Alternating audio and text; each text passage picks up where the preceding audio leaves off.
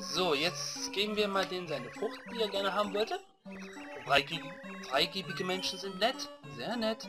Nette Menschen erfahren nette Geschichten. So, wir geben dir... Hm, eine Limette. Ah, du gibst mir etwas. Du könntest nett sein. Wenn du ein sehr netter Kerl bist, gibst du mir noch etwas. Eine Zitrone. Eins von beiden wollte der haben. Oh himmlisch, eine Zitrone. Das netteste aller netten Dinger. Weil du mir mein Lieblingsobst gebracht hast, ist meine Nettigkeit, ist deine Nettigkeit bewiesen. Und weil du so nett bist, werde ich dir etwas sehr Nettes erzählen. Wo ist Mustafa? Um Mustafa zu finden, geh in den Laden in der Stadt. Kauf zuerst einen Trockenpilz. So, schreib es mir auf, DB für Trockenpilz. ein Staubhammer.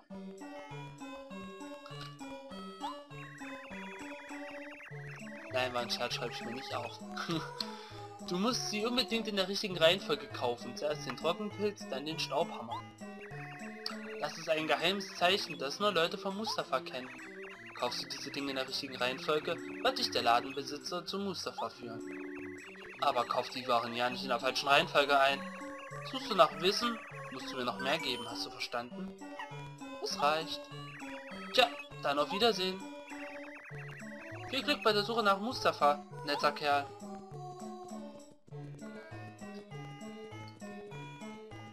Tja, wer ist Mustafa? das ist... Keine Ahnung. Ganz ehrlich, ich weiß es nicht mehr. Weiß nur noch, dass er irgendeine so Limetten-Zitronenfrucht haben wollte. So, auf jeden Fall muss ich jetzt erstmal was lagern. Nein, nein, nein, nein, nein, ich wollte nicht kaufen, verdammt. Äh, lagern will ich. 29 Items kann er noch lagern. Ah ja.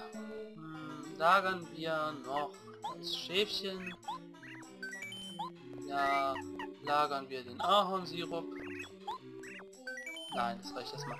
Aber ich wollte euch ja zeigen, dass hier auch die Waren drin sind, die ich äh, in Toton äh, dort gelagert habe. Das wären hier der Trockenpilz und der Feuchtigel. Wie man sieht.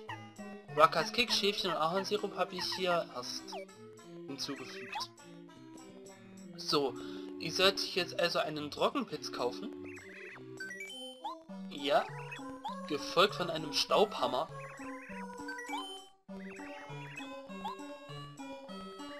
Wie? Was? Ein Staubhammer nach einem Trockenpilz zu kaufen? Ist ein geheimes Zeichen, dass man die Freunde von Mustafa kennt. Das heißt ja, ihr kennt Mustafa? Hallo mein Freund. Freut mich, dich kennenzulernen. Gibt es irgendwelche Fragen, die ich dir beantworten kann? Ihr möchtet Mustafa treffen? Normalerweise befindet er sich am höchsten Punkt des staubtrockenen Vorpostens. Suche einfach den Weg nach oben, mein Freund. Äh, was? Verarsch mich da nicht so. Suche einfach, Suche einfach den Weg nach oben. Ja, das ist gut. So, den wollte ich noch haben. Suche einfach den Weg nach oben. Wozu das ganze Theater, wenn ich nur den Weg nach oben suchen soll? Wenn das so einfach wäre, müsste ich ja nicht nach links und rechts und oben unten rennen. Ach, meine Fresse. Du schlafen gehen? Nein, mir geht's gut. Aber meine Sternenergie... Ach, die fühlt sich von alleine wieder auf. Hey, der Typ ist weg. Gehen wir mal hier rein. Und jetzt... Ah, okay. Hoch, hoch. Da sind wir doch schon oben. Ging doch einfacher als gedacht. Da ist auch ein Brief. Brief an die reisende Nomadi Maus am Straßenrand. Das ist doch da wohl irgendwas mit der Maus. Power Carry. Ah ja, ihr habt gerade gesehen, bei Cooper ist jetzt auch dieses blaue Symbol. Was halt auch beweist, dass er in den Super-Rang aufgestiegen ist. Weiß noch nicht, wen ich dann als nächstes machen werde. Aber jetzt ist erstmal die komische Maus schon wieder da. Krübel, Krübel? Hey, netter Kerl, so trifft man sich wieder. Ich bin froh, dass du mich gefunden hast. Ich bin Mustafa. Ich bin derjenige, den du die ganze Zeit über gesucht hast. Wenn ich in der Stadt unterwegs bin, benutze ich den Namen Chic. Es ist immer schön, einen wirklich netten Kerl kennenzulernen. Ich treffe viele Leute, aber du bist mit Abstand der netteste Kerl von allen. Dein Name ist also Mario. Ich hörte, dass du zu den Staubtoten Ruinen willst. Ich habe das Gefühl, dass du auf einer sehr wichtigen Mission bist. Daher werde ich das Geheimnis für dich lüften. Die Ruinen sind von großer Bedeutung. Meine Vorfahren bewachten sie seit vielen Generationen. Wenn ich das ganze Gesocks nicht von ihnen fernhalte, wer soll es dann tun? Du musst mir versprechen, dieses Geheimnis niemandem zu verraten. Ich überreiche dir dies. Du hast... Was hast du erhalten? Pulsjuwel, ausgezeichnet. Passiert schneller, wenn man sich den Ruinen nähert. Dieses Pulsjuwel ist der Schlüssel zu den staubtrockenen Ruinen. Bring ihn in die Wüste. Kommst du in die Nähe der Ruinen, beginnt das Juwel über deinen Kopf zu leuchten. Je näher du kommst, desto schneller blinkt das Juwel. Folge ihn, wohin es dich führt. Finde den Ort, an dem das Juwel am schnellsten blinkt und benutze es, um den Weg zu eröffnen. Alles klar. Ja, für Mustafa ist mir jetzt keine passende Stimme eingefallen, deswegen habe ich das jetzt mal kurz dann so gemacht. Und ich finde, es klang eigentlich ganz gut so. Ich musste mich nicht großartig anstrengen und es klang einfach gut, denke ich mir einfach mal so. Für meine Ohren klang es jetzt zumindest so, wie ich gesprochen habe, nicht schlecht. Jetzt haben wir also das Pulsjuwel erhalten. Wo war nochmal die Nomadi-Maus? Der überreicht mir erstmal den Brief. Und dann schauen wir mal, wann das Juwel anfängt zu blinken. Irgendwo in dieser riesigen Wüste. Ah, du scheiß Bandit. Wo denn die Nomadi-Maus? War doch hier irgendwo. Hey, es fängt an zu blinken. Ja, zumindest ist, es, ist das Zeichen erschienen. Ja, in der Oase war ich schon. Sind Sie nicht Nomadi-Maus? Mein Name ist Paracurry, ich bin der Postbote. Ich glaube, ich habe einen Brief für Sie. Einen Moment bitte. Brief. Und wieder wurde ein Brief pünktlich zugestellt. Die Arbeit eines Postboten ist nie zu Ende. Ein Brief von Mustafa? Ich kenne den Namen aber. Ich kann mich nicht erinnern, zu welchem Gesicht er gehört. Auf jeden Fall herzlichen Dank für die Zustellung. Erstaunlich, dass ihr mich hier draußen gefunden habt. Das Reisen in der Wüste ist sehr gefährlich. Passt gut auf euch auf. Ach ja, nimm dies als Zeichen meines Dankes. Zögere nicht, nimm es ruhig. Sternsplitter, ausgezeichnet. Gehen wir mal hier hinter, um zu gucken, ob das Juwel dann ein wenig mehr blinkt. Oh, es fängt an zu blinken. Na? Komm, blink ein bisschen schneller. Ja, es blinkt schon schneller. Na komm. Ist hier richtig? Ja, doch. Ach Mist, ich wollte doch einen Erstangriff durchführen, ausführen, wie auch immer. So, Erdbeben. Rums.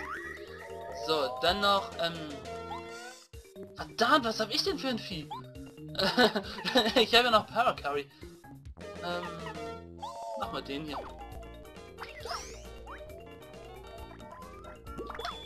Weiß nicht, was passiert wäre, wenn ich auf den anderen gesprungen wäre.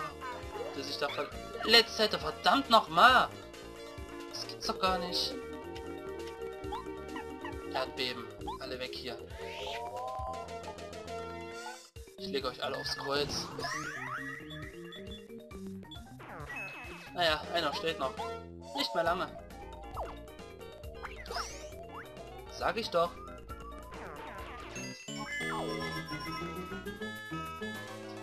Fehlen noch 26. Ähm, kämpfe ich jetzt noch mal? Äh, ja, aber mit einer anderen Figur, mit Cooper. Wir wollen noch mal gucken, was die neue Attacke so bringt. Wenn sie denn was bringt. Mal schauen. Fähigkeiten Multirempler paralysiert alle Gegner am Boden. Sure. Also, alles klar. Ähm, machen wir mal Power Rempler. Um zu demonstrieren, dass es jetzt 3 KP abzieht. Und du machst einmal Doppelsprung auf den hier. Sag jetzt nicht, die Angriff wird verstärkt. das bringt. Oh, das ist der Mega-Finger. Alter.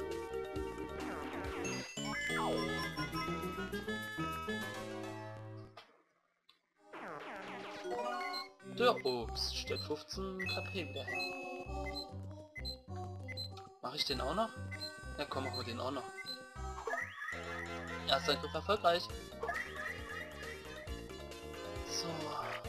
Nehmen wir dich nochmal. Multirempler? Na, nicht Multirempler, Powerpanzer. ich mache einen Scheiß.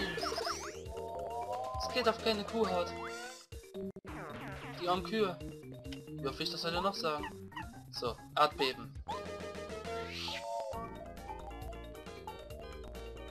Vermutlich auch das letzte Mal, dass ich das jetzt machen kann, weil ich keine Blütenpunkte mehr habe. Drei Blütenpunkte.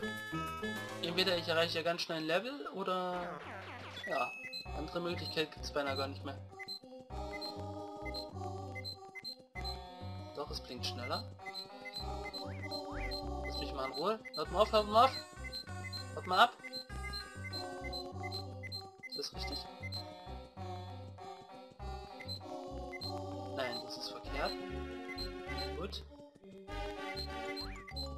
Nein, nein, nein, nein, lass mich jetzt doch mal. Ich habe jetzt gerade keine Zeit mit dir zu spielen. Hier?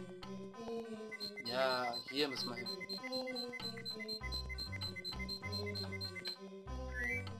Pulsjuwel einsetzen. Jetzt kommt wieder eine sehr schöne Sequenz. Soweit ich weiß, sogar ohne Grafikfehler.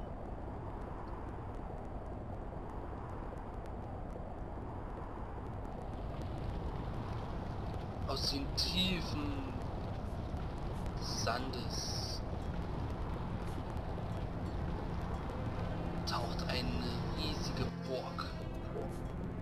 Steigt eine riesige Burg empor.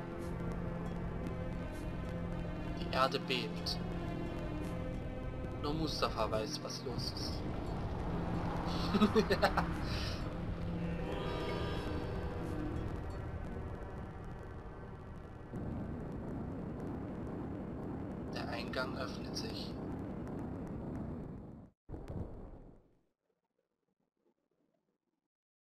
Mario beginnt ein neues Abenteuer. Sobald er sich erholt hat, Bing!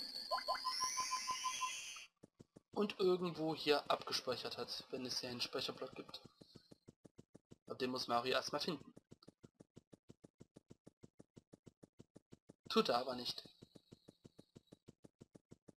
Also geht er einfach hinein. In Aladins Wunderhöhle.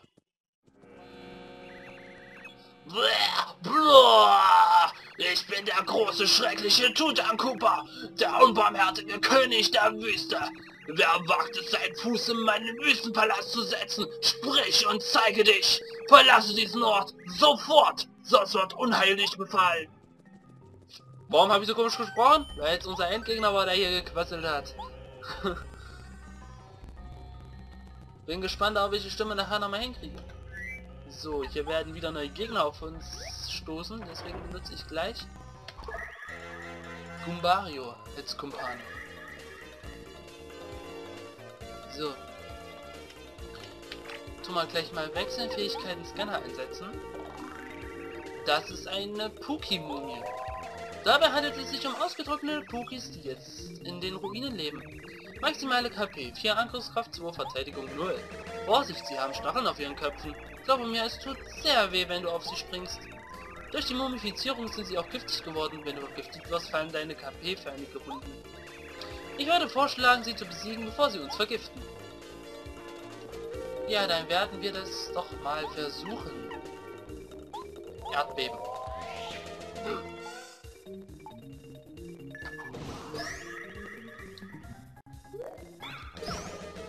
Sehr gut.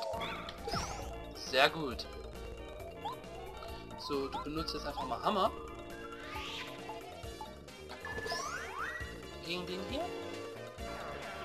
Und du wechselst mal gegen Cooper. Wird, zwar in dieser Runde nicht nochmal angreifen können, aber dennoch.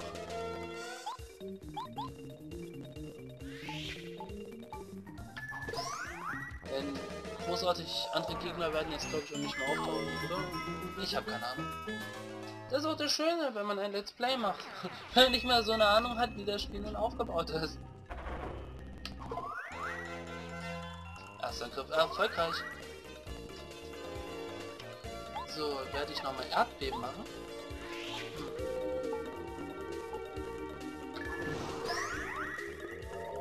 Und dann ähm, nochmal einen Panzerstoß. Reicht vollkommen aus.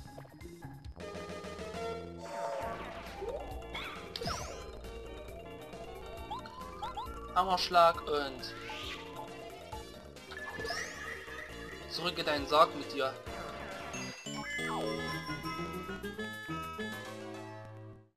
Ich habe gerade gesehen, hier drinnen ist ein Orden.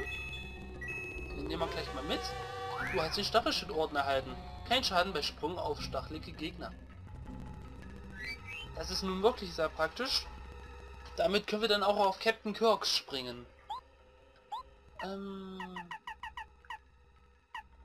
Stachelschild erfordert zwei. Kann ich was entbehren? Ja, den Power Dots. Ja, den Power Dots kann ich entbehren.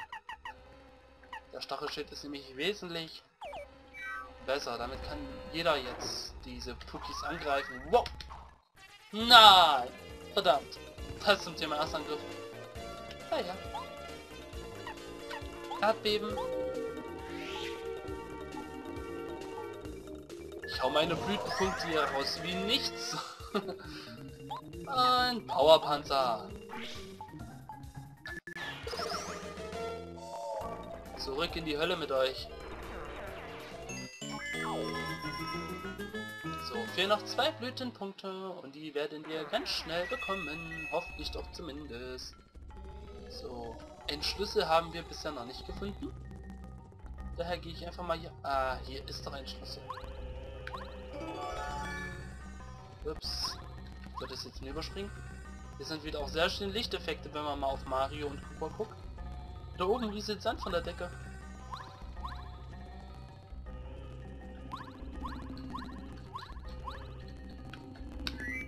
Ruinenschlüssel verwenden.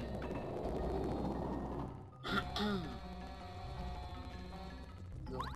Hier ist ein Schalter, springen wir gleich mal drauf. So, jetzt rieselt nicht nur Sand von der Decke. Kommt gleich noch ein bisschen mehr. So, leider können wir hier nicht gleich hinterher springen, wir müssen den Weg zurücklaufen. Denn dadurch, dass jetzt hier alles voller Sand ist, kommen wir durch diese Tür, durch die ich eben durchspringen wollte. Na, du hast meine Warnung ignoriert, du Narr! Vor meinen Legionen wirst du fallen und zu einer Mumie des ewigen Sands werden.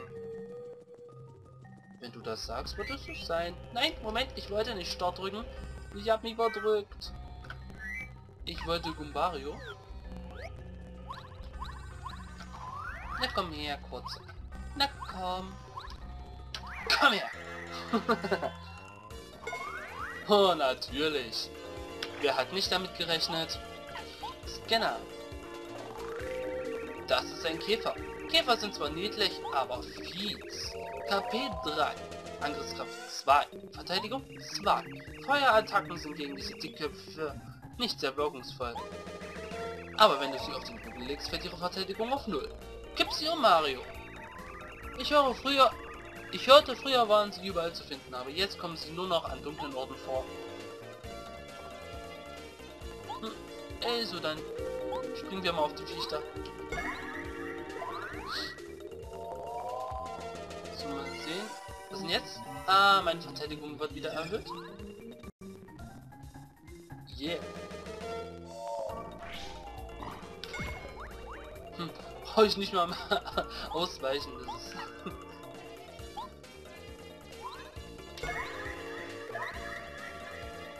Das ist so. Mario macht den hier jetzt fertig. Wenn ich das Timing schaffe, was ich auch geschafft habe. Jetzt weiß ich nicht, wie lange das hält. Es hält immer noch eine Runde. Verdammt. Das ist doof. Obwohl ich nochmal drauf gedrückt habe, also kurz bevor angreift. alles nicht funktioniert, wie ich das wollte. Naja, dafür ist jetzt wieder alles aufgefüllt. So, und da ich ja solche großen Probleme mit meinen Blütenpunkten hatte, immer mache ich jetzt aber Blütenpunkte. So. Und beim nächsten Mal mache ich wieder Ordenpunkte. Das ist schon mal sicher. Ah ja, genau. Ich muss hier mit äh, Power Carry rüber. Mein Gott, das wollte ich nicht. Nerv mich nicht. Äh, Power Carry? Wenn er das schafft. Ja. Und jetzt mit ähm, Bombett. Die Wand wegsprengen. Mal sehen, was hier zu finden ist. Ein weiterer Schalter. Ich gehe erstmal unten gucken, nicht, dass ich hier irgendwas vergrabe. Wo ich zu voreilig bin. Nee, nee. Ich muss an den Schlüssel ran. Da komme ich nur ran, wenn ich das so mache. Ach Mensch! Ernsthaft, ich verdrück mich hier nur. Immer wenn ich wechseln will, drücke ich nach unten. Obwohl ich genau weiß, dass Wechseln rechts ist. So doof muss das mal sein. Also denn, lassen wir noch mal Sand regnen.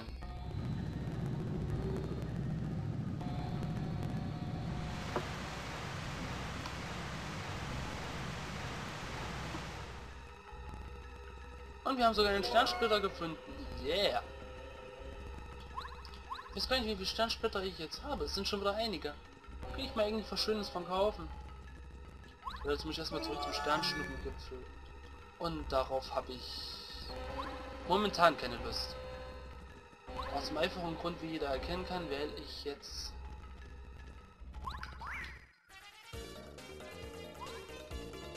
Brauchte ich nicht oben irgendwo einen Ruinenschlüssel? Achso, das habe ich schon verwendet.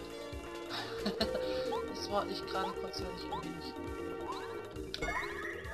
irritiert. Deswegen bin ich auch voll in das Vieh reingelaufen. Ich brauche das erst später. Mist, ich habe mich rechtzeitig gedrückt.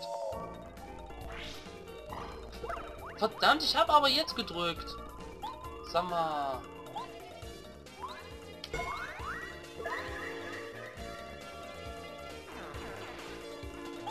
So, Luftangriff. Oh, hat sich auch nicht umgedreht. Der. Mein Gott, ich drücke doch. Nicht. Das bringt nichts. Ich muss so machen.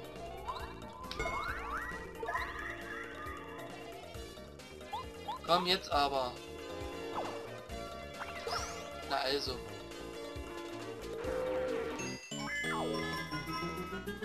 Vier Sternpunkte. Was ist hier drin? Alter, erstmal wieder wechseln hier. Super.